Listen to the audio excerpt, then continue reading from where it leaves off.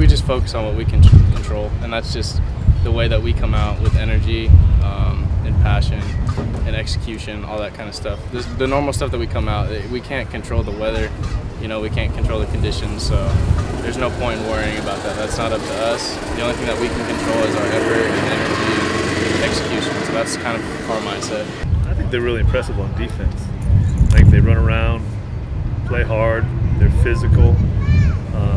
Good pass rushers. Um, you know, I, I, know the coordinator. I know how he how he works. Um, he's, he's, a professional, and, and, these guys look like they bought into not only Coach Bohl but Coach Hazelton. I think he's a you know great prospect, like they say, a real strong guy, big guy. He's able to make defenders miss.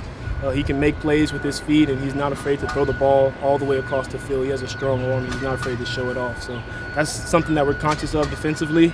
We're adjusting our techniques to be able to better play those uh, long balls that he's uh, able to throw.